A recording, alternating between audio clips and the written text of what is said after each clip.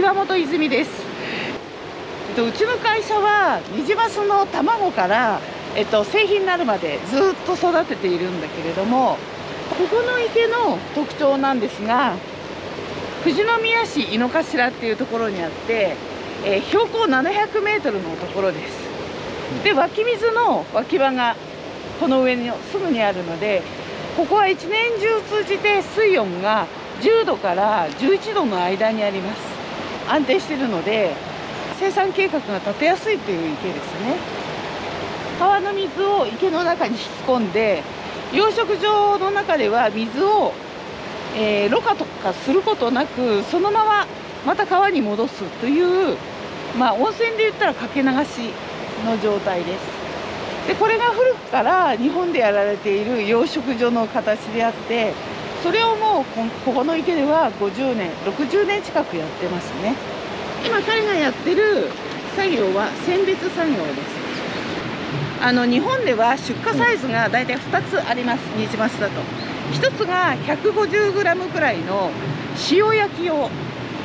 塩振って食べる。頭がついてっていうものなんだけどあともう一つ私たちあのサイズっていうのは2キロアップのお刺身用の魚を作ってます。でもうこの大きいのになるともうお刺身専用で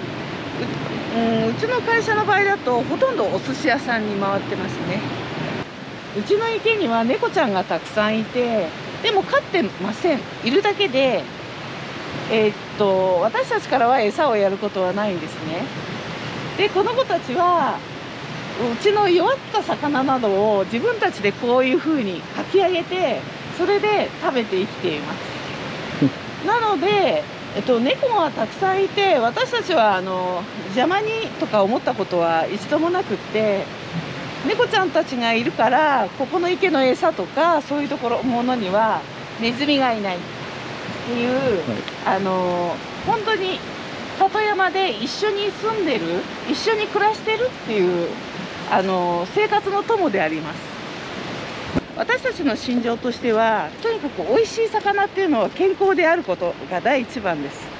だからそれを一番に考えて私たちは育てています。だからこそやってることは毎日人の手によってちゃんと餌まきをして魚に目配りをして弱ってる魚あるかなっていうのを観察してそれであの育てています。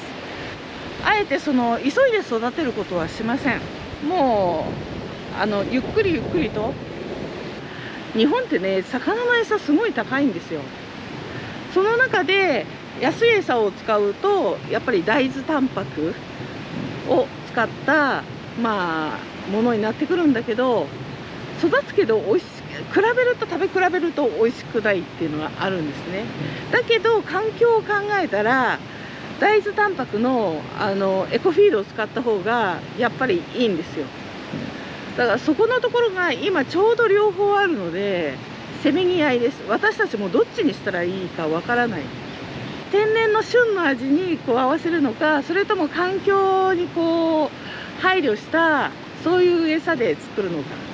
で大豆タンパクをやるとやっぱり早く魚を大きくしなきゃいけないから今度魚の餌に油を添加しなきゃいけないんですよ。でもそれも嫌だなと思います。ここの池にはやっぱりレストランの経営者かなり来られるので身のしっかりしたおし味っていう。魚はそのあの少しずつ品種改良されてあの育てやすい魚にはなってるけれども、うん、そこのところがまだまだ水産は遅れてるんですよ。この会社ではもちろん美味しくて安全でっていうところで、そういう魚粉をメインの餌を使ってます。好きな食べ方は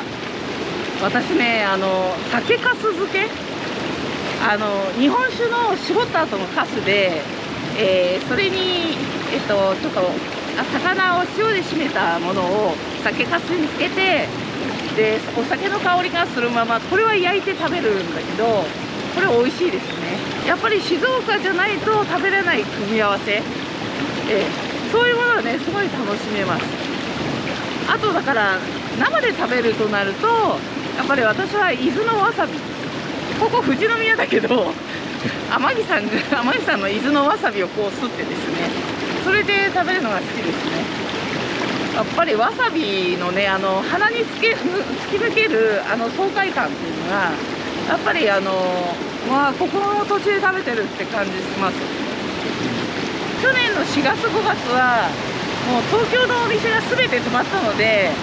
もうびっくりしちゃって。もう出荷止まっちゃいましたね。唯一良かったのが釣り堀屋さん。釣り堀屋さんはレジャーの中でも唯一その、えー、ソーシャルディスタンスが取れるのでだからお客さん入ってたと言ってましたね。えー、で今は徐々に徐々に戻ってきましたけれどもお客様のご提供の仕方が変わってきたっていうところはありますね。私の仕事では女性はもうほとんどいません。でやっぱり疑問に思ったのはスーパーに営業に行ってもスーパーのバイヤーさんってみんな男の人なんですよ。だけど買ってる人たちはママたちでしょ。だからそういうところに非常にあのチャンスだなと思いました。